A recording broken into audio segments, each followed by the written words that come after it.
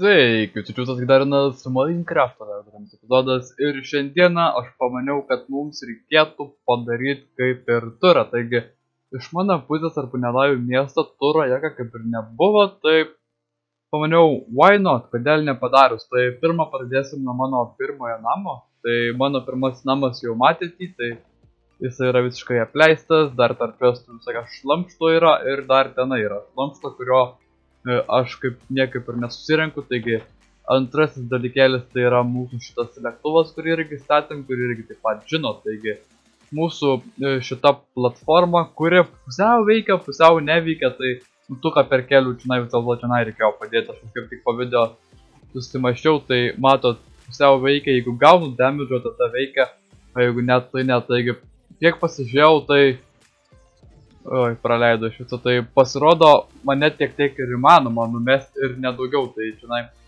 kažkur yra gal 10 blokų, jeigu neklystu. Gal mažiau, tai tiek ir te turi numesti pagal viską. Tai ja, lab, nelabai useful, useful stuff, stuff nu, vienu žodžiu. Tai miestas, kurį irgi taip pat matėt, tai tokie kaip kambarėliai, tas stulpas, mob grinderis, čia bus tokios farmos, kurių aš vis dar niek nepadariau, tai čionai kaip ir stotis, kurios irgi dar nėra čionai šitą e, reikės pakeisti, kaip šitos blogai palį dizainą, tai šiek tiek suapalinsiu, jau žinau, kaip tai turėtų atrodyti, tai greitų metų pakeisiu aš jį, taigi čionai yra kibergausto namas, jeigu neklystu, tiksliai nežinau, tai galim užbėgti vidų, tai čionai porą čestų ir čionai galim taip gražiai užlipt, tai yra šiokių tokių details, bet pagrindė tai čia nieko nėra ir šitie laiptai yra labai patap, tai čia toks vienas įėjimas, po to tai čia dar kažkur viršui turi būti, bet aš bijau nukris dabar, tai Ai, praleidau, ai va, čia dar vienas įėjimas ir paskutinis yra e, Nu, pagalvojau, kad visiškai nukrisiu ir paskutinis yra štai... Nu, jėtus marė, tai užlipam. O, ir paskutinis aukštas yra štai čionai, tarp kurio nieko nėra, tai dar tuščio stogą užsidėjo, pirmai nebuvo užsidėjęs, tai galim šokti į apačią ir keliauti toliau. Tai toliau būtų Midgardo namas ir Midgardo patranka, tai Midgardas šiuo metu tą serverį nežaidžia, tai tenai buvo toks didelis e, bokštas Midgardo, bet jį teko nugriauti, buvo jis visiškai netitiko dizaino ir buvo du bokštai vienas kito, tai tas bokštas buvo prastesnis ir jį nugriovėm. Taigi, e, pirmas, antras, ketvirtas, žinai, čia buvo trečias, tai ketvirtas namas yra Aidžio, tai naujas žaidėjas serveri. Irgi dar nieko beras nepastatė, tak šito namų nebuvau, jo, kaip matau, čionai dar kaip ir tuščia, bet... Ne, bet čiuk nais idėja, tai pabiškai įsirenko galvą, tai tos galvos neturi nais. Tai Aidžio namas, tai čia irgi nieko per daug gero nėra, tai sunkus nulipimas iš šiandien. Galim pabėgti toliau vėl.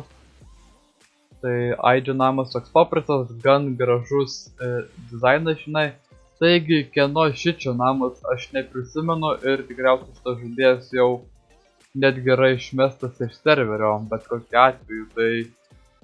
Ja, na, reikės pasiklaus žmonių, kieno čia namas ir galbūt, jeigu yra išmetas, bus galima šitą namą nulūtinti. Nes usainio namą aš jau kaip ir nukasiau, tai... Aha, bėgam toliau, tai mano antrasis namas, kuris pasirodo jau yra už mūsų teritorijos. Ir aš tik palikau šitą vietą nukasęs, tai... Jo, tai čia buvo šiek tiek tokia durna istorija, tai... Jo, tai dramos video matė tikriausiai. Tai toliau, au, au.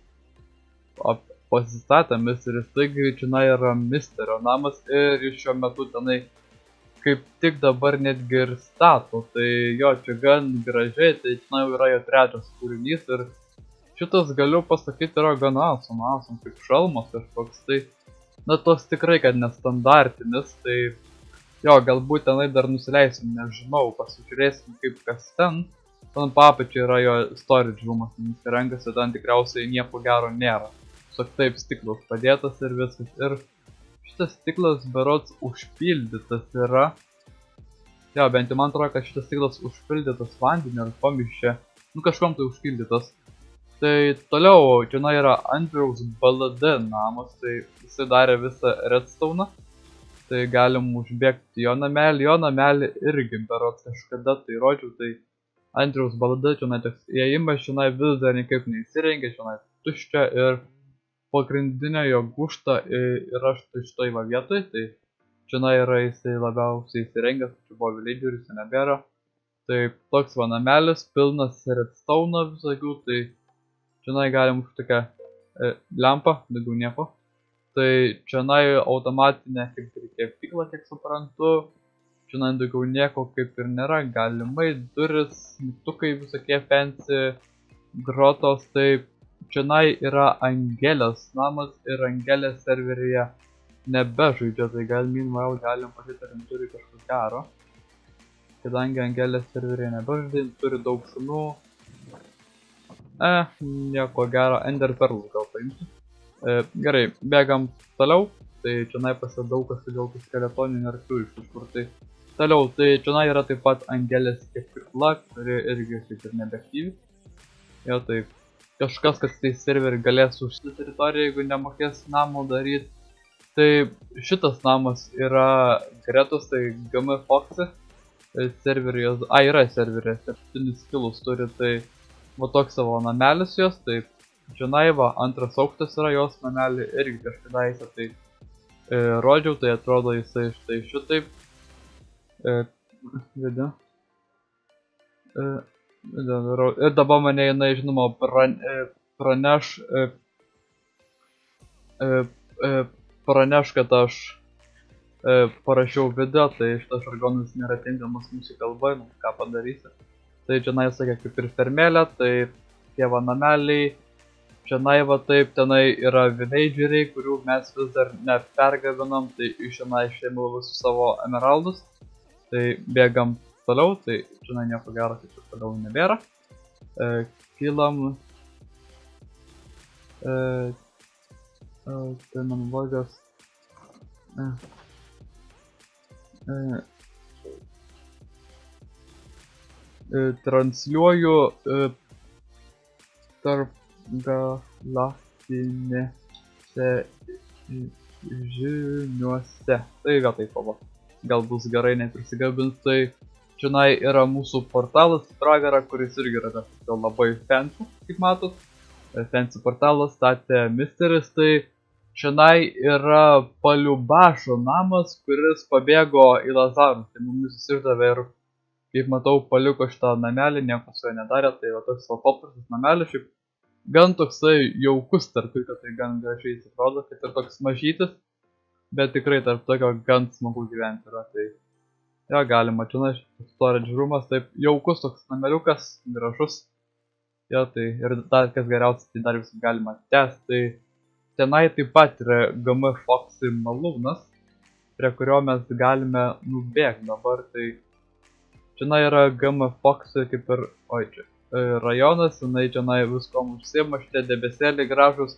Kažkur man jam matyti dar kažkokią tai anime, tokie vadalykėliai ir nežinau tai kur, tai galim nuneik greitai iki jos šito malūno, parodysiu vidinus, tarp jo berods nieko kaip ir e, nėra, tai nubėgam čionai, prabėgam jo, jis tušis, tarp jo nieko nėra, tai po tokia va teritorija, tenai berods yra GM Foxy irgi daiktai, tai tenai yra visokios fermosios, tai e, ja, karvių ferma ir avių ferma, tai gan gražiai čia patvirta ir man čia šiek tiek FPS dropita, dropina, tai arkliai, vėl paliubašo namas iš šitos pusės šiek tiek baisiau atrodo. Gerai, bėgam dabar prie Navaro, ne Navaro, o prie Ervanio namo, tai čia na šitas berots yra Simos namas, o ten toliau Ervanio namas, tai e, jeigu, jeigu gerai nesumaišiau, tai Ervanės pastatė Simai namą, tai O toks va namas be stogo, tai dar berot stogą turės užsidėti, tai tie takeliai, kuriuos aš sakiau nusigriaut, buvo nelabai derinasi su mūsų tuo takeliu, kuriuos mes norim padaryti, bet kažkaip būtum vis tiek juos sujungę, tai dar kartą jam pakartosiu, kad nugriautų, jeigu ne, tai savavališkai aš tai padarysiu, nes tai privaloma padaryti. Tai... O, nusileidimas į apačią, kurio prieš tai nebuvo, ten tikriausiai į kasyklas, tai gal ten e, nesileisim, tai čia galim pakelti į antrą aukštą. Jo, taigi antras aukštas, čia šiek tiek lengvesnis pakelimas, kaip matau, ne. Tai nėra lengvesnis pakelimas, galim dar šiek tiek taip gražiai užlipti. Jo, čia kaip ir tuščia po to yra ir aš ten nežinau, ar ten galėsim užlipti, išlipti. Galbūt ten net nelipam mes. Nusileidžiam čionai. O, čia tokia dobė. Ai ne, čia ne kasyklus dėl to. E, e, čionai yra... Matėte? What? Labirintas kažkoks tai. Kas čia yra? Tilteliai, na vienu žodžiu, čia dar neaišku, kas čia yra, bet bus aišku ateityje ir bet čia šiaip gan gražiai atrodo, galiu pasakyti, tai e, lauksim tolimesnių idėjų, tai fak užlipam čia ir tada dar galėsim nubėgti dar kažkur tai pasižiūrėti, kur dar neapžiūrėjom, tai kokį mes dar neapžiūrėjom. Tai Elitros launcherį mes matėm, mano miesto iš kažkokios tikriausiai dar niekas nematė, jis nieko gero iš dalies, tai e, va štai kaip jis atrodo, tai čia nai, taip atrodo, čia tokios gyvenamos vietos, dar jis toli gražu, kad neužbaigtas, tai dar reikia čia nai padaryti, bet nežinau ką su šitą farmą daryti. Va jos kaip ir reikia ir kaip ir nereikia, automatizuotis būtų pats laikas, tai nežinau, tikriausiai pusė fermos bus nugriauta, kita pusė kaip ir liks. Tai va šitaip va viskas atrodo čia nai. Aha, taip, elitros neturim gaila, tai galim pabėgti tenai. O, tiesiant šitą tiltelio ir dar pasižiūrim, kur mes dar nebuvom. Ir tenai tada laisim, tai susimatysim arba nebe, nežinau.